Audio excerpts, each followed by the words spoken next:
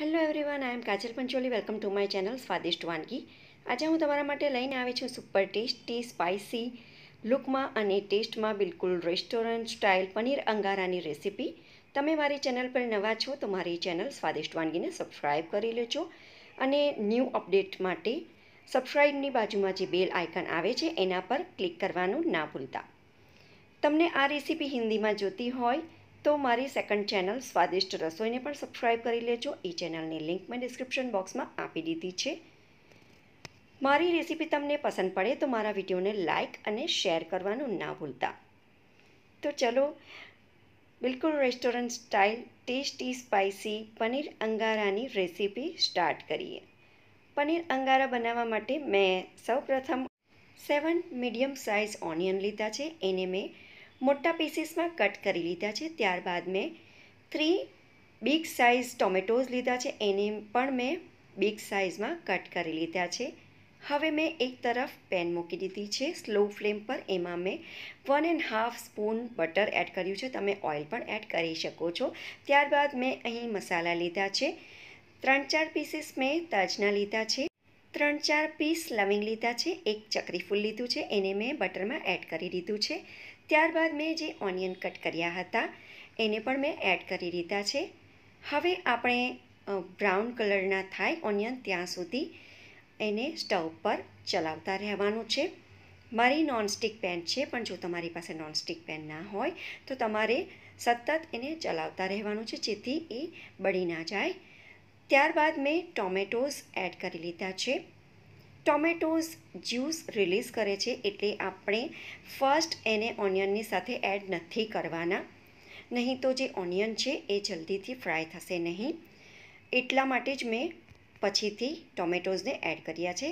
ટોમેટોઝને પણ આપણે સરસ રીતે ફ્રાય કરવાના છે જ્યાં સુધી એનું બધું જે જ્યુસ છે તે ઓબ્ઝર્વ ના થઈ જાય અને મેશ ના થઈ જાય ત્યાં સુધી. ત્યારબાદ મેં અહીં બસો ગ્રામ અમૂલનું પનીર લીધું છે. તમે ઘરે પણ પનીર બનાવી શકો છો અથવા લૂઝ પનીર પણ લઈ શકો છો. હવે મેં પેકેટને કટ કરી અને પનીરને બહાર કાઢ્યું છે. તમે જોઈ શકો છો. જ્યાં સુધી ઓનિયન અને ટોમેટોઝ ફ્રાય થાય ત્યાં સુધી હું પનીરના પીસીસ કરી લઈશ. તમારે થોડી થોડી વારે ઓનિયનને ચલાવતા રહેવાનું છે જેથી એ પેનમાં ચીપકી ના જાય. ઓનિયન અને ટોમેટો ફ્રાય થઈ ગયા છે તો હવે હું સ્ટવને ઓફ કરી લઈશ અને એને દસ મિનિટ માટે હું ઠંડુ પડવા દઈશ. તો દસ મિનિટ થઈ ગઈ છે, ઓનિયન અને ટોમેટોસ ઠંડા થઈ ગયા છે. હવે હું એને મિક્સી જારમાં ટ્રાન્સફર કરી રહી છું. આપણે એની પ્યુરી બનાવવાની છે. ચકરી ફૂલ લવિંગ અને તજ એડ નથી કરવાના. તો મેં ઓનિયન અને ટોમેટોઝની પ્યુરી બનાવી લીધી છે, તમે જોઈ શકો છો.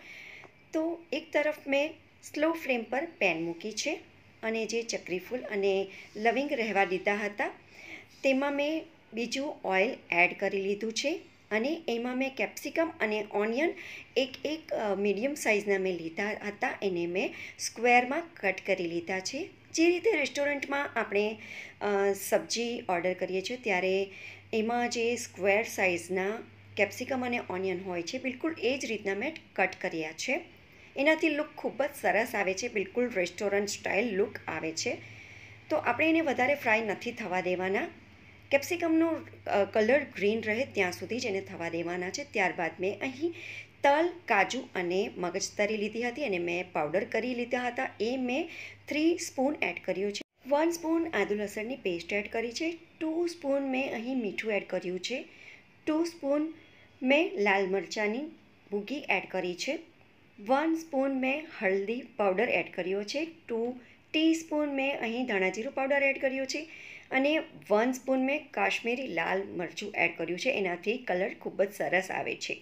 તો ટોટલ મેં થ્રી સ્પૂન મરચાંની ભૂકી એડ કરી છે. એમાં વન સ્પૂન મેં કાશ્મીરી લાલ મરચું એડ કર્યું છે. તો હવે બધી વસ્તુને મેં સારી રીતે મિક્સ કરી દીધી છે. ત્યારબાદ મેં જે પ્યુરી રેડી કરી હતી, એને પણ મેં એડ કરી લીધી છે.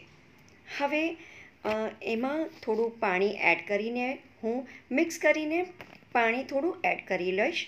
વધારે પાણી એડ નથી કરવાનું, નહીં તો જે ગ્રેવી છે એની કન્સિસ્ટન્સી એકદમ જ રની થઈ જશે. અને પ્યોરીને આપણે પહેલાં ઓઇલમાં ફ્રાય કરી લીધી હતી, તો વધારે એને સ્ટવ પર થવા દેવાની નથી, તો એટલા માટે પાણી વધારે એડ નથી કરવાનું. હવે બધી વસ્તુને સારી રીતે મિક્સ કરી દેવાની છે. અને જે પ્યોરી છે, એને બે મિનિટ સુધી આપણે સ્ટવ પર થવા દઈશું જ્યાં સુધી પ્યોરીમાં બબલ્સ ના આવવા લાગે. તો તમે જોઈ શકો છો કે પ્યોરીમાં થોડા થોડા બબલ્સ આવવા લાગ્યા છે. તો હવે જે મેં પનીર કટ કર્યું હતું, એને હું એડ કરી લઈશ. પનીરને તમે ફ્રાય પણ કરી શકો છો, પણ મેં ફ્રાય નથી કર્યા, ડાયરેક્ટ એડ કર્યા છે. અને પનીરને એડ કર્યા બાદ ફરી પાછું આપણે સારી રીતે મિક્સ કરી દેવાનું છે. અને જે પનીરનો ગ્રેવીનો જે મસાલો હોય છે, પનીરની સબ્જીનો, એ મેં વન સ્પૂન એડ કર્યો છે અને વન સ્પૂન મેં ગરમ મસાલો એડ કર્યો છે.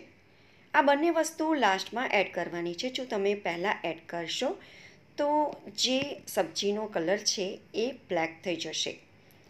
બંને વસ્તુને એડ કર્યા બાદ આપણે સબ્જીને વધારે ટાઈમ સુધી થવા નથી દેવાની. ત્યારબાદ મેં થોડા ધાણાને ધોઈને કટ કરી લીધા, તે મેં એડ કરી લીધા છે. હવે ફરી પાછું આપણે બધી વસ્તુને સારી રીતે મિક્સ કરી લેવાની છે. અને સ્ટવને મેં હવે ઓફ કરી લીધો છે અને મેં એક ઓનિયનની સ્લાઇસ મૂકી છે. એમાં મેં નાની ફાટકી મૂકી છે. એક બાજુ મેં કોલસા ગરમ કરવા મૂકી દીધા હતા. તે મેં ચીપિયાની હેલ્પથી વાટકીમાં એડ કરી લીધા છે અને એમાં મેં ટુ સ્પૂન ઘી એડ કર્યું છે, તમે બટર પણ એડ કરી શકો છો. જેવું ઘી એડ કરીએ અથવા તો બટર એડ કરીએ, તરત જ એમાંથી સ્મોક આવવા લાગશે. એટલે આપણે તરત જ ઢાંકણું બંધ કરી અને અડધો કલાક માટે એને રહેવા દેવાનું છે, જેથી બધી સ્મોકની સ્મેલ સબ્જીમાં બેસી જાય. તો અડધો કલાક બાદ હવે હું ચેક કરી લઈશ. વાવ!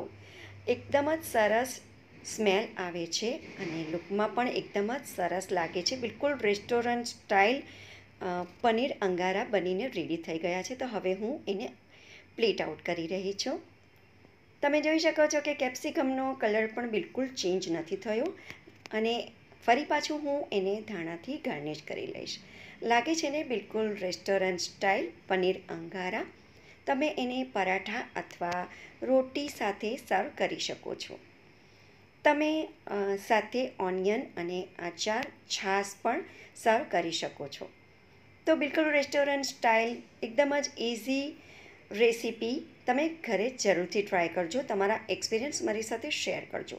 તમને મારી આજની ખૂબ જ ટેસ્ટી ઇઝી રેસીપી કેવી લાગી, મને કોમેન્ટ સેક્શનમાં લખીને જરૂરથી જણાવજો. મારી આજની પનીર અંગારાની રેસીપી તમને પસંદ પડી હોય તો તમારા ફ્રેન્ડ્સ અને ફેમિલી સાથે શેર કરજો. મળીશું ની રેસીપી સાથે નેક્સ્ટ વિડીયોમાં ત્યાં સુધી bye take care thanks for watching